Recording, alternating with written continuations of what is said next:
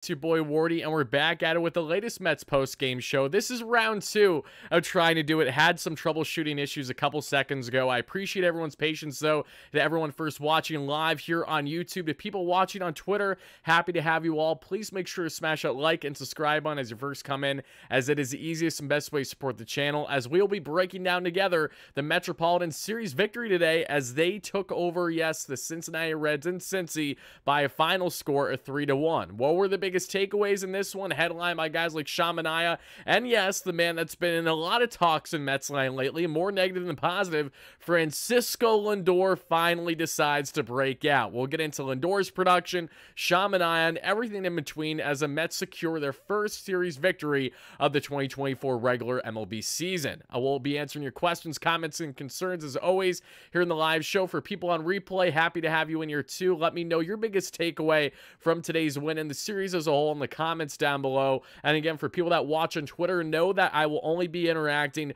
with the chat here on YouTube per usual. But I appreciate everyone first chiming in again live and on replay. Happy to have you all in here. But more than anything, folks, intro rolled awesome. Happy to hear that, folks. What I want to see from everybody now, well, even if it wasn't the prettiest win, they got the job done, folks. Let's spam those W's in the live chat. You know the drill. Spam those W's in the live chat. People that watch us on replay, the same applies to you too. Love love to see it. Let me see him spam right now, folks. The Mets are now 3 and 6 on the season. Again, less than ideal, obviously, but a much better position than what it could be. Again, just by a couple runs difference. It's frustrating because it feels like this Mets team should be in a better position than what they are right now, but they also have lost in just some of the most embarrassing ways possible, including yesterday's absolute blunder against the Reds. But Ryan Clifford present, thank you so much for the donation. I appreciate that. Lindor is a beast batting righty. I'm not shocked he uh, he busted out today hey, there there really needs to be consideration to bat him righty full time. Love you, Tyler. Love you too, Ryan. Thank you so much for the kind words, my friend. I appreciate that.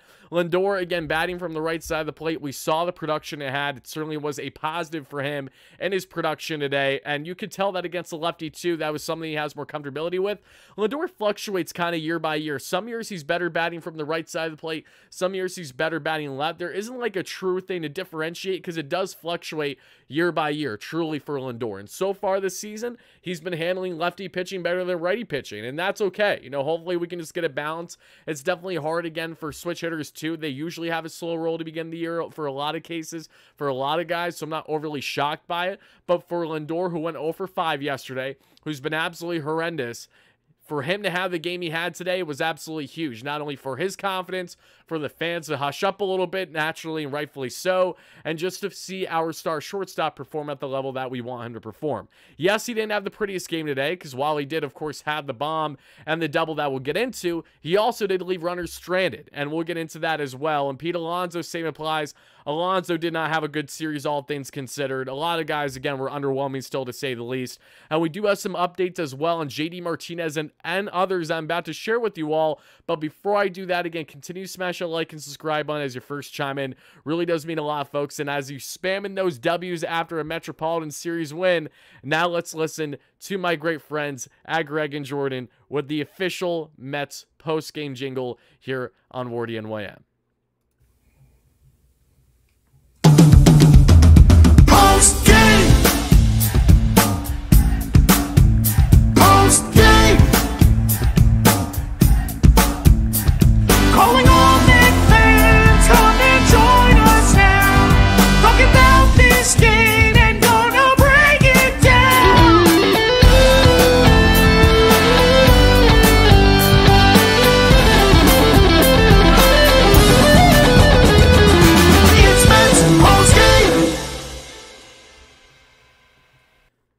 As always, shout out to my good friends Jordan and Greg who do a fantastic job with their Mets jingles for all things Mets all season long as well. Check them out on their socials in case you haven't already. Jordan Simpson has been a long-time follower of mine, especially.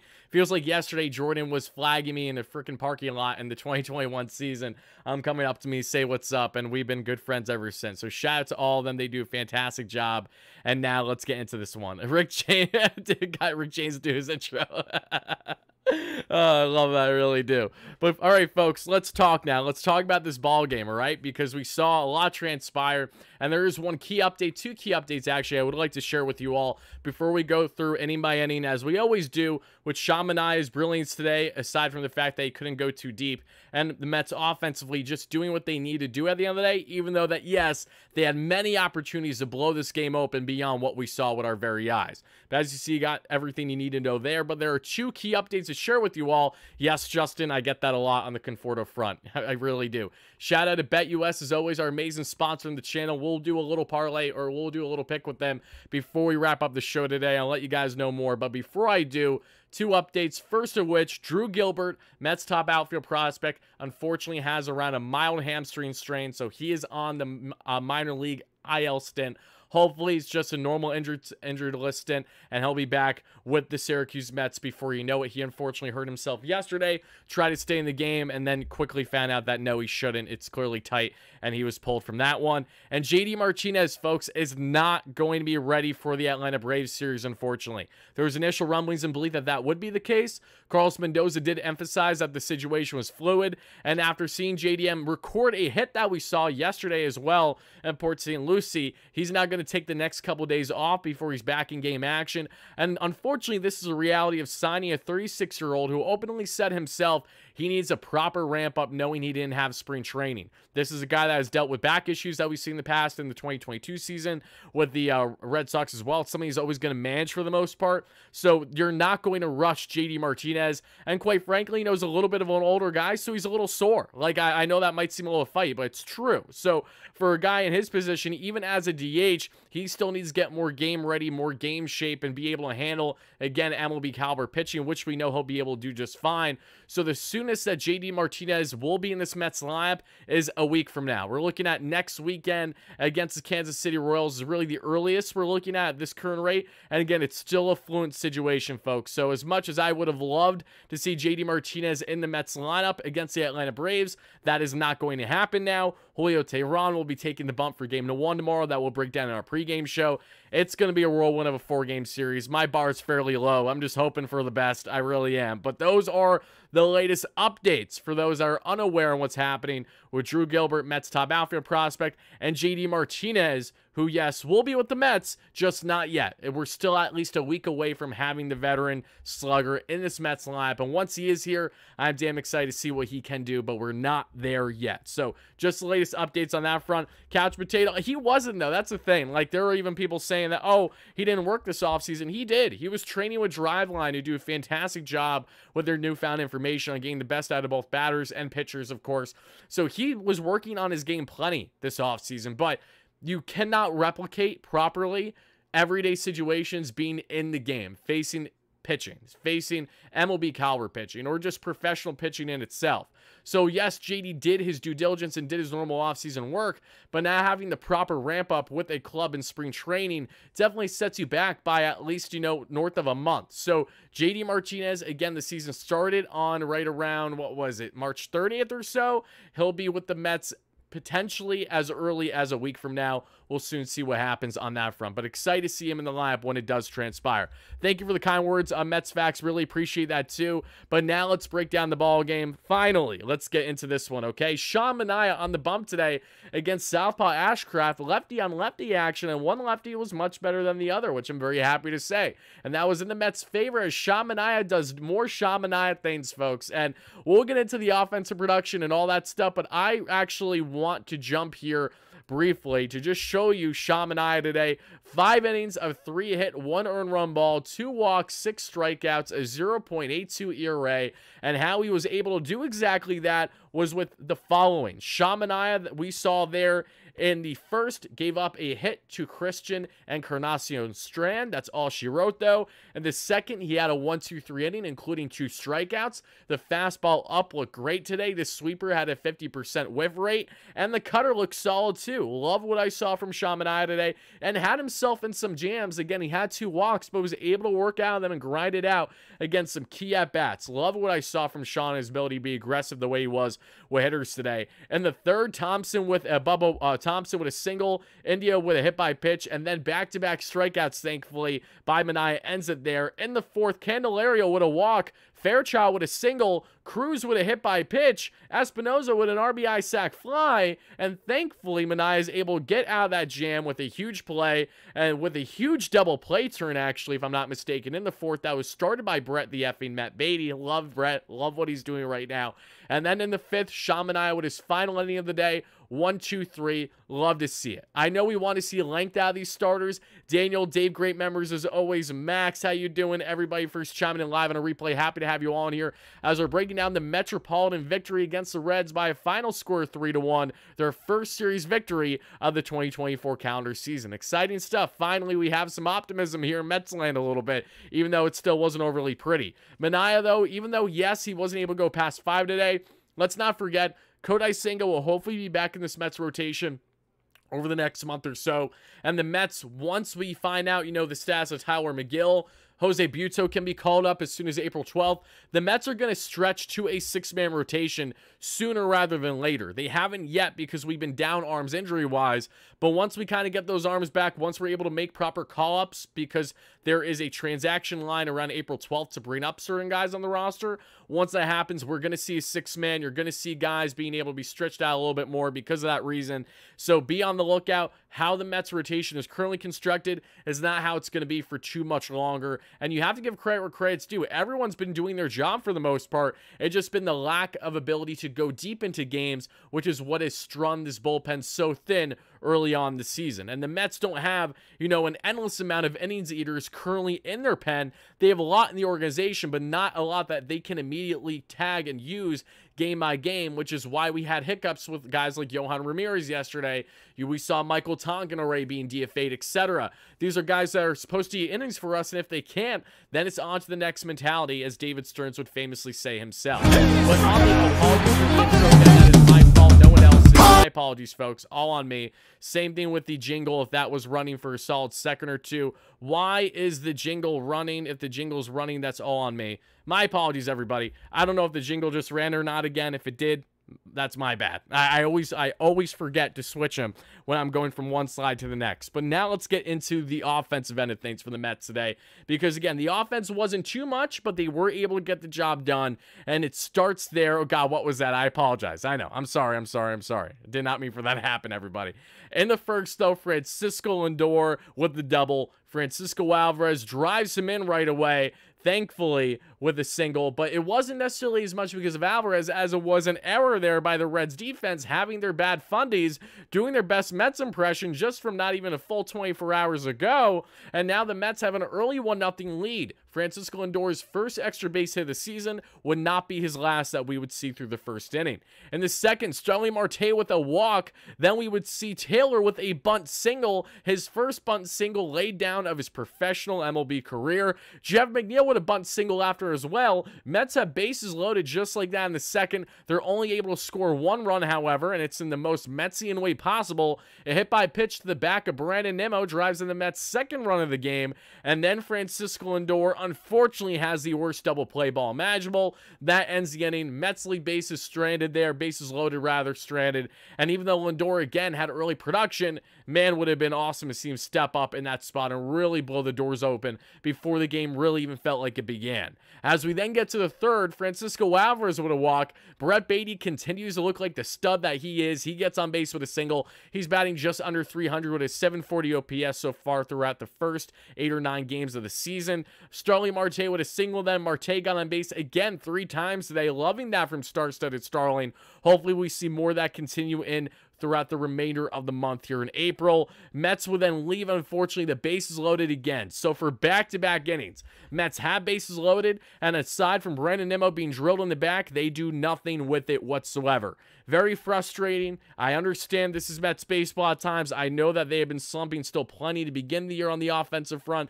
I also know that they have some major flaws in their offensive approach as a whole, which is why a guy like JD Martinez, we're so desperate to see in this lineup on just the type of production that he can provide? How good can it be, right? It's a great question to be had. But regardless, we see there the Mets are not able to convert. They still have themselves a 2 0 lead as we then advance to the fourth inning. Francisco Lindor decides to give the Mets some insurance with a no doubt home run to the left. It's his first home run of the year, folks, and that is why, out of all the schmucks yesterday going after Lindor, and when I mean schmucks, I really don't mean it because, again, criticism is justified when you go 0 for 5 and you're not heading the way that Lindor was. He was on a, on a 0 for 24 skid entering today's game. Thankfully, broke that up and then some. But because of Lindor's struggles and because of his production today sticking out more than anyone else, Francisco Lindor is my star of the night, even though that's still daytime technically at the time of doing the live show. But if you're watching on replay or if you're watching a different time zone, maybe it is maybe it is night, so it's okay. Francisco Lindor is my star of the game, folks. Again, went two for four today, two for five rather, two runs scored, had himself a double, first extra base hit that became a run scored. Early leads, love early leads for this Mets team, and the home run to give the Mets at that point then a three-run lead, or it was at least three-one. It was three. It would be three nothing, but it would only last half an inning as the Reds would score their first and only run in the bottom of the fourth. Everybody, but I got to ask you, you know, truthfully, out of everyone that played in the Mets roster today. We'll show you the offensive numbers here shortly. But still, do you feel that Francisco Lindor is deserving to be the star of the night? Aside from Sean Manaea, it's really hard for me not to pick Lindor here. You know, with all the pressure that's been on him lately, with everything that's been going on with how people have been acting off the field with him, unfortunately, and just, you know, his lack of production as a whole, no one needed a breakout game more than Francisco Lindor did today for this Mets team. This Mets team is so much better when they have Frankie playing right, and when he's not playing right, we got ourselves a big issue. Careful with the game audio. I don't want Wardy to get copyright 100%. Yeah, I think we're good. I am not playing the game audio here in the live chat, everybody. Let me know, but I'm pretty sure nothing went through. So that's a good thing. Uh, let's see here. Uh, let's see. Why would anyone threaten Lindor and his family? There are some sick people in this world, unfortunately, Justin. That's the reality of it. And those sick people claim to call themselves Mets fans at the same time. They're what we call below pond scum and deserve the worst of the worst. Those specific people. Mr. Chicken, how you doing? Should Jorge Lopez be the sub man? He's one of many. He's one of many, so there's that. The Mets don't have a set setup man right now because they don't need a set setup man. And I think that's the better way to go about their bullpen approach all year versus being reliant that like Ottavino needs to be your guy every time when he certainly doesn't. Ottavino was fantastic today that I'll get into here shortly, but doesn't change the fact that when you look at the Mets' current bullpen configuration, they have multiple guys that can come in in the eighth inning for you. Let's see. Lindor had the best production of any shortstop last year, especially in the NL. So there's that 100%. Um, can't wait to see Acuna playing second base and McNeil. McNeil won't be DFA'd. That won't happen. Um, but Acuna, I also don't necessarily foresee at second base this year. I could be wrong. I mean, we'll we'll find out what happens on that front. I would love to see him get a taste of the bigs at some point this season.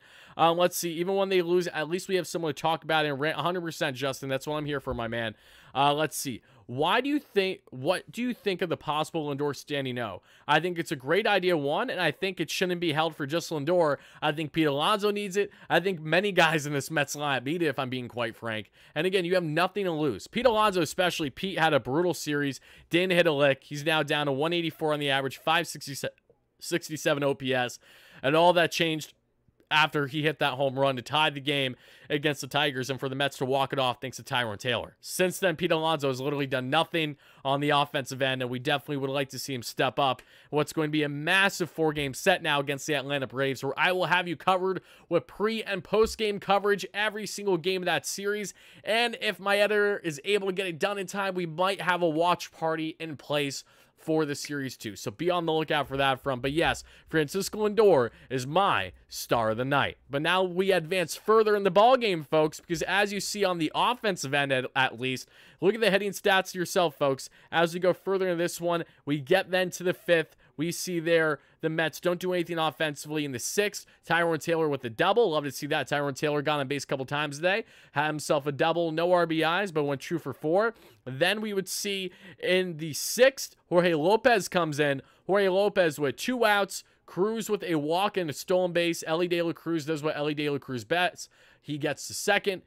Even with a perfect Alvy throw, and gets to third with ease. Thankfully, the Reds don't score there. Lopez gets out of that jam unscathed. Brooks Raley, again, walks a couple guys, but gets out of it unscathed in the seventh. And the eighth, Starling Marte with a single. Mets weren't able to score there. Adam Ottavino comes in with a beautiful 1-2-3 inning, including two strikeouts. Sweeper fastball combo looked great there. And then we saw in the ninth, Edwin Sugar Diaz doing what he does best, and that is shutting the door. Edwin with two strikeouts, a much more comfortable looking save than what he had in the first game of this series, and he now has the bragging rights right now between himself and his younger brother Alexis on who's going to get more wins against each other, who's going to get more saves.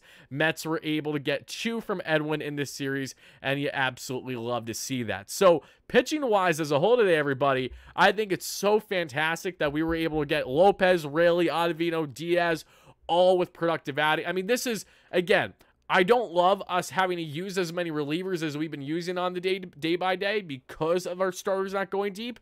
But you have to give so much credit where credit's due right now. The Mets still currently have the best ERA in all the National League. Rotation ERA is first. Bullpen ERA entering today's game was fifth. I'd have to imagine it's at least third now, if not second, after having four different relievers go scoreless innings today. Lots to like on the pitching front. And yes, this is not overly sustainable. Yes, I firmly believe and expect the Mets pitching to get their absolute tits lit in at minimum two of the four games against the Atlanta Braves. I think we're going to see some numbers get really inflated, unfortunately, because you're playing such a great offense. And I also know that that's okay. Like, I'm not happy about it, but I understand that this is kind of a a, a foregone conclusion, if you will, because we know how good this Atlanta Braves team is, which is why if the Mets can literally win just one out of the four. I'll take that as a moral victory. The Mets can split the series. I will be ecstatic because when you look on the team on paper, yes, the Mets have talent, but we know how good this Atlanta Braves team is. They just swept their their opponent they, they've been playing the past couple days, and uh, the Diamondbacks, which is ridiculous considering the Diamondbacks were up six nothing on the di- on uh on Max Fried and the Braves through the first inning yesterday. I had Diamondbacks run line. Shame on me for that. Braves still ended up winning. Kelenic had himself a three hit night yesterday. A lot to love there and Bravesland, even with Spencer Strider being down with injury. Um, let's see here. Justin says, Wardy, do you think there's a chance Alonso's gone after this year? Yeah, I do. I do. I absolutely think there's a chance for sure. Um, and a lot goes into that, though. There a lot goes into that. I think Alonso is still here to stay. But yes, the possibility of him leaving is very much a possibility. It is not something where we can look back, even say half a year ago, and say, oh, not a chance of hell happens. No, there's definitely a possibility where by time we get to 2025 season, Pete Alonso is in a different uniform. But the Mets are going to do everything they can to retain him. And I know he wants to stay here. And we'll see how the year goes, too. You know, how he performs this year, how he looks in clutch situations as well, needing him to step up. I will say, since 2020, if I'm not mistaken, Pete Alonso has actually been one of the best players in Major League Baseball in high leverage situations, believe it or not. In clutch situations with pressure, he's been much better than you would actually think. It's a bit surprising, really, because of just how anemic this Mets offense has been at times. But Alonso's numbers are actually quite impressive on, on that front in certain aspects. So, yeah, it's going to be interesting to want to evaluate for sure. All the Lindor haters are quiet. That's true. That is true. My my show has been flooded the past couple days with everybody screaming and kicking and crying that Francisco Lindor should be traded, that he's the worst player imaginable, right? That he isn't worth the cent of his contract. Where is it? Where is this? Where where is it?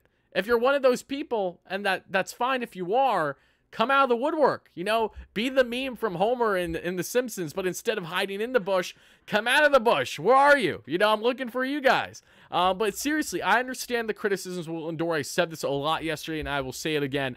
They are 1,000% justified. He has had a lackadaisical at bats sometimes so far this season. I hate first pitch swinging by him, especially with guys on base. He has gotten some really bad luck. His BABIP for a reason. Literally, so many balls he's ripped. Yesterday, uh, 104.5, absolutely rope, but it's dead center. So, of course, it isn't in the gap. 98.6 on one with like expected batting average of at least 680. Like, there's been a lot of instances already this season where Lindor has had bad luck, where he made perfect contact just right in the glove of an outfielder or whatever it may be. Lindor was able to find the gap today and was able to find the seats, something he hasn't done so far this season, and that's what we know him at his best offensively. Francisco Lindor last season with his 30 home run, 30 stolen bag, 100 plus RBI season, he was at his best because he was such a slugging shortstop.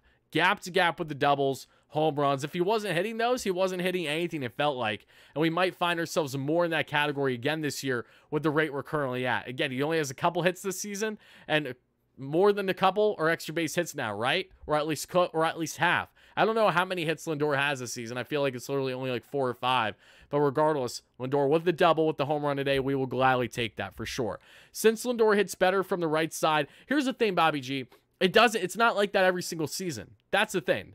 Lindor is not a player where if you if you go and take the time to look at his splits year by year, Francisco Lindor has actually fluctuated with where he's been better right or left side. There, it's not one of those things where he's like permanently better on the right side. That's not true.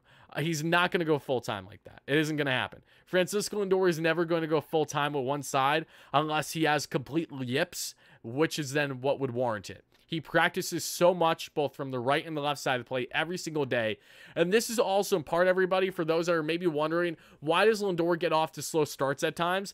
Being a switch hitter goes directly in hand with that. You know, especially even with the consistent reps you're taking, trying to get acclimated and adjusted and comfortable from both the left and the right side of the plate in any game situation is not an easy thing to do. Even for a guy who literally takes hundreds and hundreds and hundreds and hundreds of reps so consistently the way that he does that you don't see that's happening pregame, that's happening when he's doing his workouts in the offseason, all that kind of stuff. But yeah, no, Lindor, I don't foresee being in a full time batting from the right side anytime soon. No, they're going to have him bounce out as he always does. Um, let's see.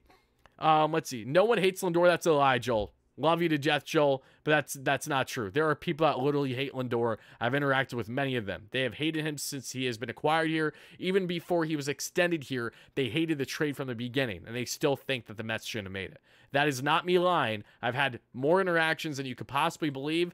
But again, as someone who's the host of this platform with just under 25,000 subscribers, continue to smash that like and subscribe button, folks. Really does mean a lot as we come at you with post game, pre game coverage on a daily basis. Your one stop shop for all your Mets needs here on YouTube, not directly affiliated with the Mets or SNY.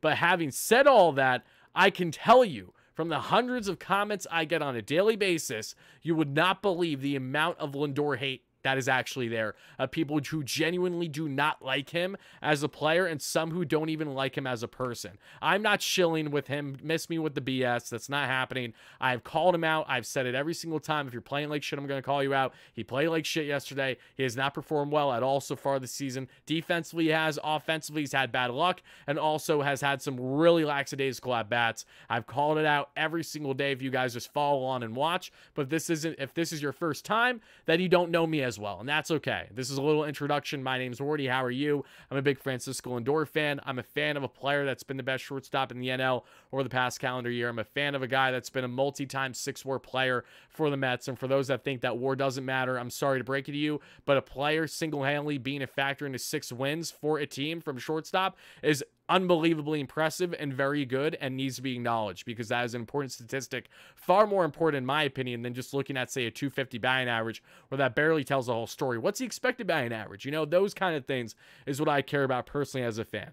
Um, we hate A Rod and Gallo. I know, I know Yanks fans. Some of them hate A Rod, some of them love them. Depends on who you're talking to. Regardless, though, let's get back into this one, folks, because before we advance further in the show, before I break down more on what I like from this matchup, again, the key takeaways again, Sean Manaea going five innings of 6K, one on a run ball. Lindor breaking out the way that he did. Tyrone Taylor with a nice multi-hit day too. Brett Baty with a strong defense and single. Great bullpen work as a whole, everybody. And now I got to tell you briefly about my amazing friends and sponsor, as always, with our great friends here at BetUS. Because BetUS right now, folks, they have a tremendous offer going that I cannot wait to share with you all. Just give me one second as I get everything pulled up. There we go. Let's shift this over right now. As may you know, BetUS has been an amazing partner here on the channel that we have been doing for a while now. And of course, there's the uh, there's literally the impart ad read. So it truthfully it doesn't even matter. This is a verbal, but the verbal, again, folks, is that we are giving away $125, and all you need to do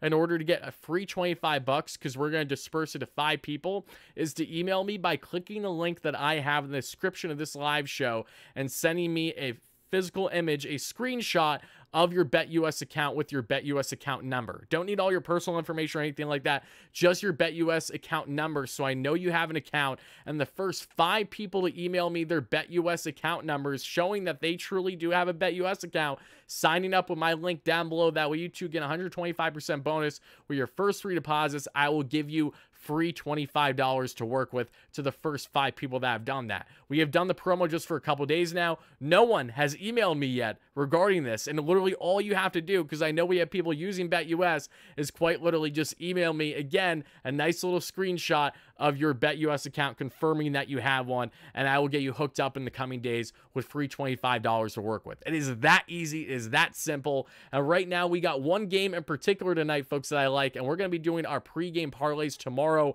on the channel, folks. But right now we got the Houston Astros versus the Texas Rangers tonight. The Houston Astros are off to a 2 and 7 start, but my goodness, even at minus 200, I love them on their run line tonight. Why exactly is that? Well, they got the youngster and Blanco, who actually is more of a grizzled vet. He's in his late 20s now, coming off of his no-no bid the last time he was on the bump for the Astros. I love this against Dunning there of the Texas Rangers. The Astros have had a very underwhelming start to the year, but one of the few bright spots has been their rookie Blanco, who came out with a no-hitter in his first start of the season. I'm going to take the Astros run line at minus 200 today, and I'm going to go 50 here to win 25. Nothing crazy again, just a little sprinkle here. And this is going to be a tight matchup for sure. But with the way that Blanco's been looking, not only spring training where he didn't give up anything whatsoever, with the no-no to kick off the season, I think that trend is going to continue, continue hopefully in the right direction for him. And that is the pick that I'm going with today. So if you guys tail, good luck to you all. And everybody that gets in on your sports betting action, just make sure you do responsible, of course.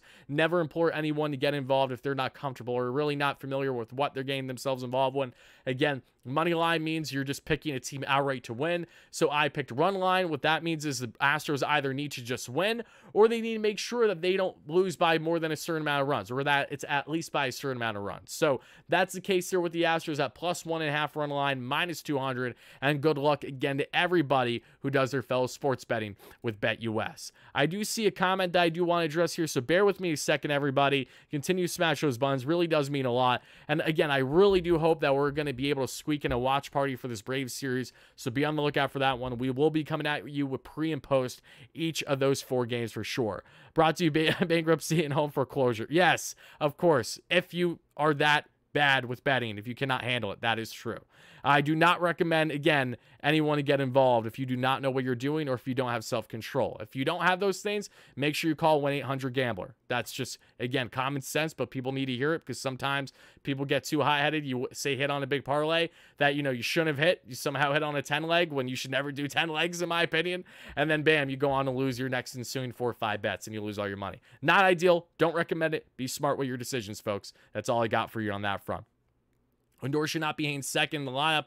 Um, that that really doesn't matter to me. If if Lindor gets moved down, Lindor gets moved down, right? But I'll say this: I think we should take a step back from nitpicking Lindor's usage in the lineup when he actually had his best offensive day of the season today. I agree in the sense that yes, that double play with the bases loaded was very frustrating. I hear you there, but don't be surprised if Lindor stays in his spot for the majority of the year or is moved up to lead off in the instances where Nimmo does not play per se, like we saw a couple days ago. Again, regardless of if you agree or disagree, I'm just letting you guys know in advance.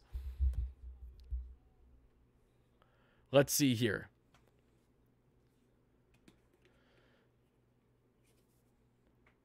Everyone was crying about the Mets rotation, and now what they have the best rotation in the National League. It's very early in the season, but yes, but yes, for sure.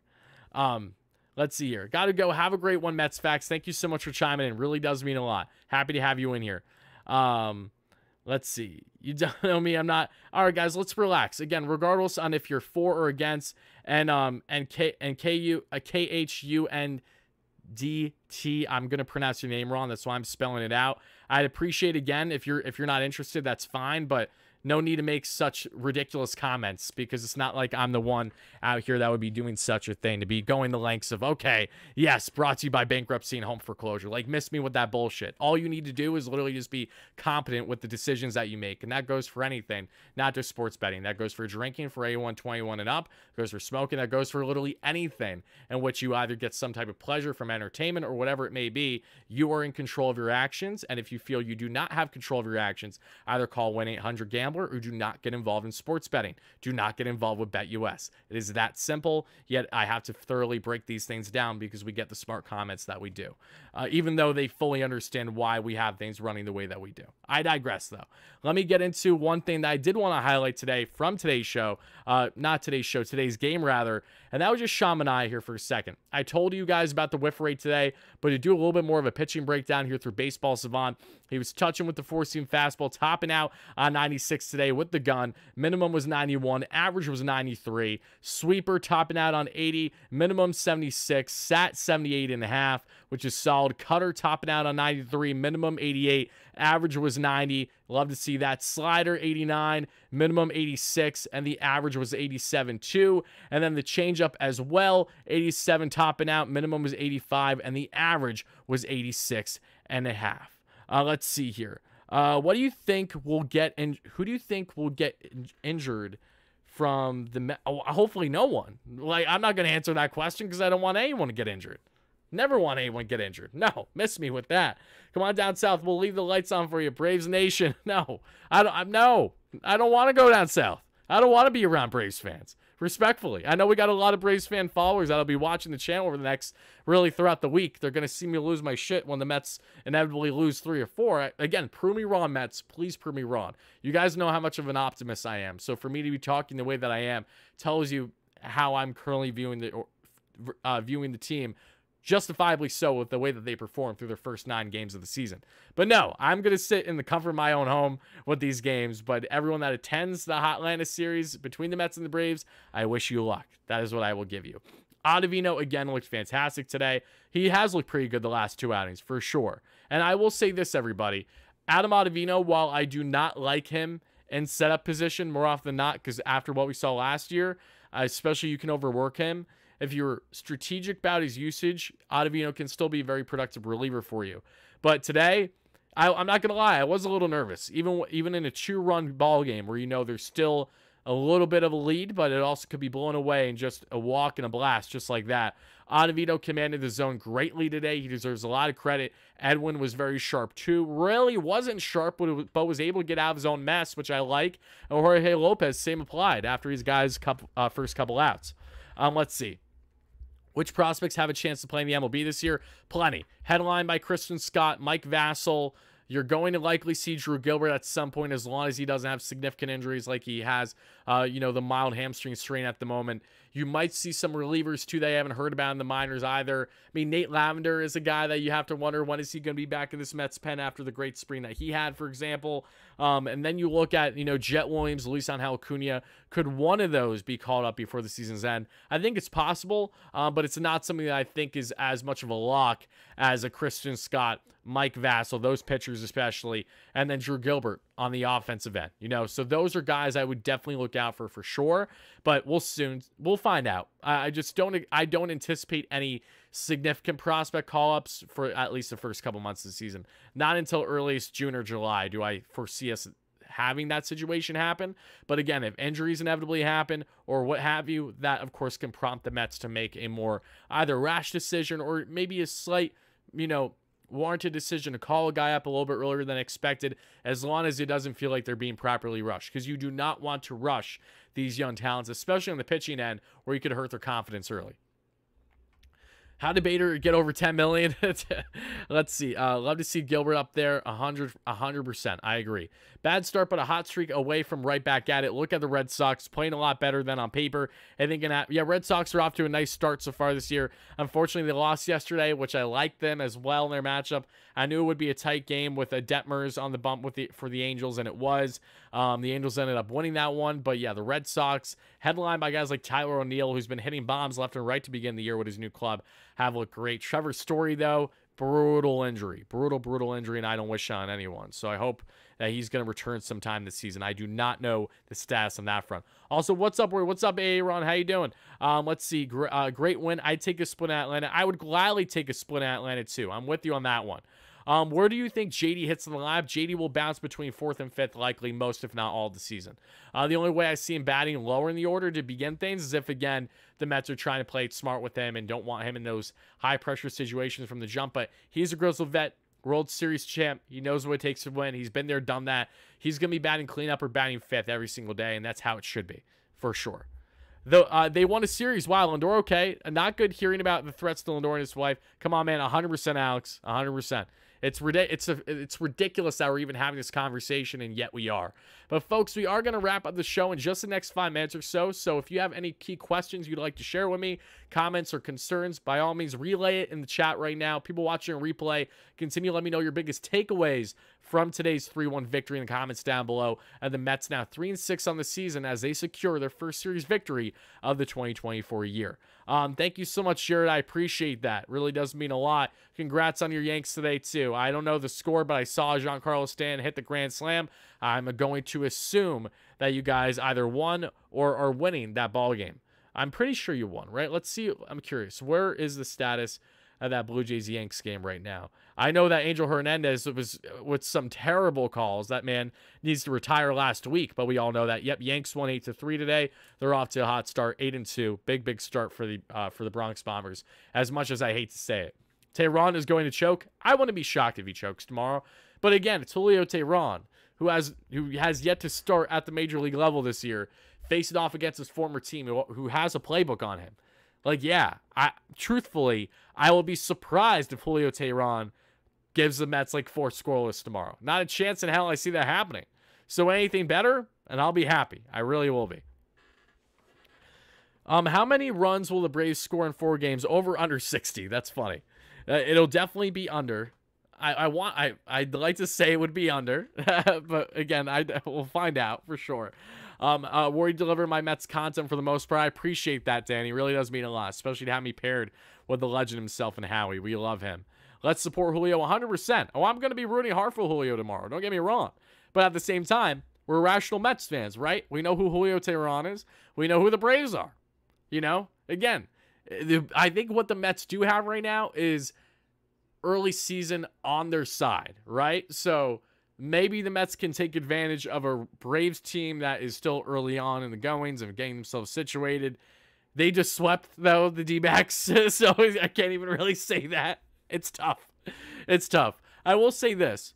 If there's one thing that makes these Braves Mets games a little bit better, knowing that the Mets have the expectations that they do this year, is knowing that I don't need to necessarily have in my head like, oh, how dare the Mets not beat the Braves, right? Like in 2022, like to see everything unravel the way it did, okay. 2023 stunned a lot too because you were hoping for them to finally get over that hump and they just never did. 2024 now, our expectations are just to make playoffs. We know the Braves are one of, if not the best team in Major League Baseball. So our expectations are low, and I think that might. I hope. I hope this helps the Mets and their players' psyches too by going into this series, maybe with not the same added pressure that they've had in the past couple years when playing Atlanta, especially in Atlanta, right? So this is a loose, hopefully fun Mets team. I would I would like to see them not press too much, just play loose, fun, comfortable baseball, and that is where I think we're going to see some entertaining things happen. Um, what expectations were expectations are just push for playoffs, right? Push for playoffs, and I think the Mets will either make it or just miss it. I think that's what'll happen. We will win tomorrow. There's a solar eclipse. There you go. Tim Welsh. He's feeling confident in his Mets. Not stressing it. Let's see what we got. Found money. Okay. Let's see. When they loaded the bases twice in two straight innings and got two runs, I was like, uh-oh. Oh, 100%. I was like, here we go. How are the Mets going to lose this today? Because we saw exactly how they lost the, day, the day prior in the most Metsian way fashion in the eighth. And now you're telling me the Mets have back-to-back innings today with bases loaded. And do nothing with it besides a Brandon Nimmo RBI because of a hit by pitch. Yeah, I was expecting them to lose after seeing that, but they didn't. The pitching held up. They just need to do what they need to do in order to win today. That's fine by me at the end of the day. I know it's not the best production by any stretch, but they did what they need to do. And now we move forward into a heated and far and away the biggest series that the Mets have so far this season. Lindor has got to put up his big boy pants and behave like a leader. Who's going to demand accountability from this team? I will say this, Jay. Lindor does one thing great. If there's if you're gonna be like if you're not a Lindor fan, there's one thing that you can't deny with Lindor. He always holds himself accountable. He always does. There's no one that honestly beats themselves up more that we see, at least in the public eye, than Francisco when things are not going right for him. He's made it abundantly clear he always needs to be better when he's not doing well. And he does put in that work. It's not like he doesn't. He's always trying to fine tune his game and make himself better than what he was the day prior. And that's why he's not only being paid the big bucks, but that's why Lindor is one of the best shortstops in the game today. So many factors that go into it.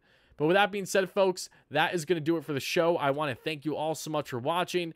Um, they uh, they're one bar short. I'm telling you, one bat short. Yes, they are, and that's why JD Martinez is so needed, guys. We will be back again tomorrow. Pre-game coverage probably coming at four or 5 p.m. Eastern. If it's a seven o'clock game against the Braves, I don't know actually what the Brave time is tomorrow, so let me double check. It is going to be 7:20. So yeah.